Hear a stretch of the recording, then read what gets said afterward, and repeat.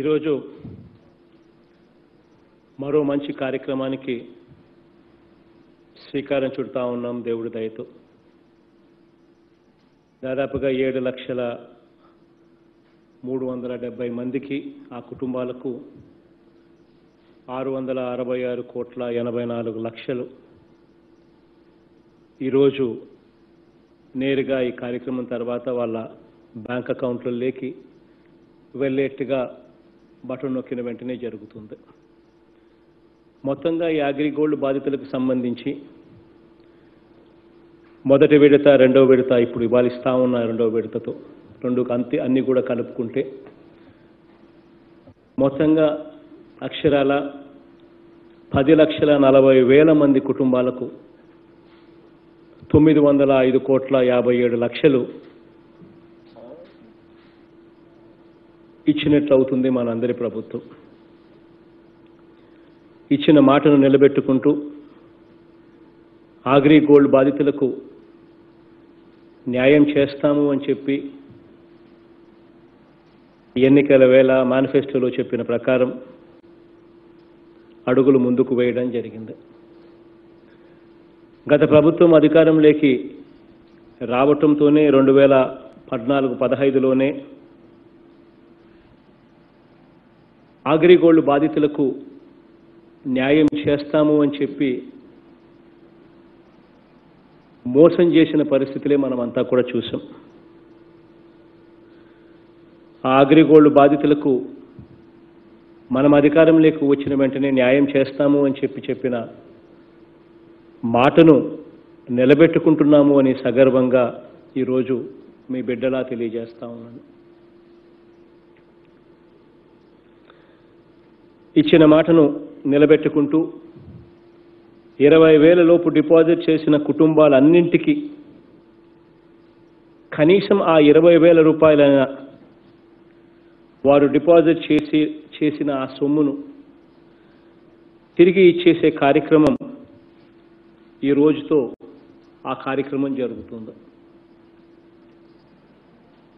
ఓ private company బహుశా దేశంలో ఎక్కడ జరగలేదేమో. ఓ ప్రైవేట్ కంపెనీ మోసం చేసి ఎగ్గొట్టిన డబ్బును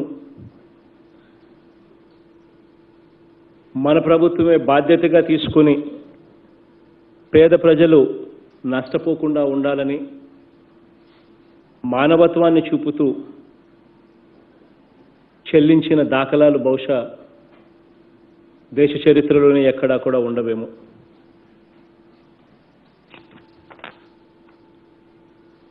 అగ్రిగోల్డ్ స్కామ్ అన్నది ఒకసారి గతంలోకి వెళ్ళి చూస్తే అగ్రిగోల్డ్ స్కామ్ అన్నది గత ప్రభుత్వం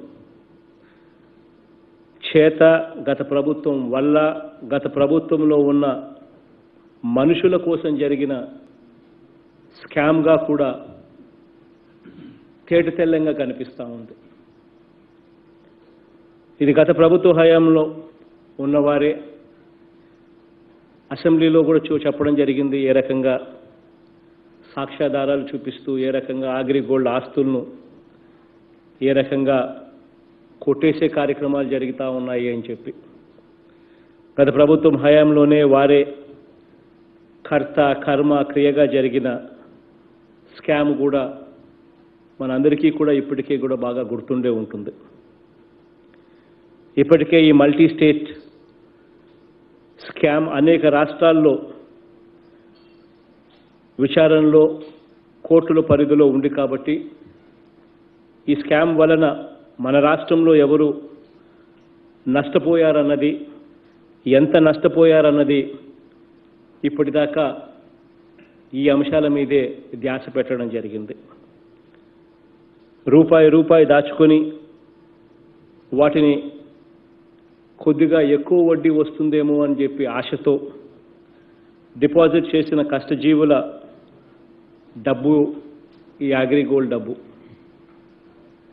ఈ అగ్రిగోల్డ్లో డిపాజిట్ చేసిన లక్షలాది మంది వాళ్ళ జీవితాలు కూడా ఎలాంటి వాళ్ళు వాళ్ళు అనంటే కూలీ పనులు చేసుకుంటా ఉన్న వాళ్ళు చిన్న చిన్న వృత్తులు చేసుకునేవారు వీరిలో కొంతమంది తోపుడు బండ్ల మీద బతికేవారు మరికొందరు రిక్షా కార్మికులు.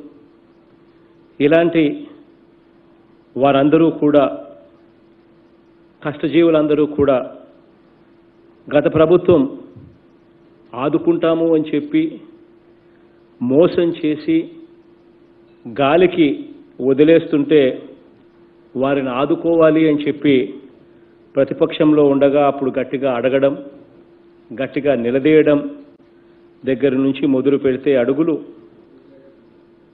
ఈరోజు అధికారంలోకి వచ్చిన వెంటనే రెండు వేల పంతొమ్మిది నవంబర్లోనే పదివేలలోపు డిపాజిట్ చేసిన డిపాజిట్లు కట్టిన వారు మూడు లక్షల నలభై వేల మంది డిపాజిటర్లకు కోర్టు ఆమోదించిన జాబితా మేరకు అప్పట్లో రెండు వందల ముప్పై ఎనిమిది కోట్ల నల డెబ్బై మూడు లక్షల రూపాయలు చెల్లించడం జరిగింది.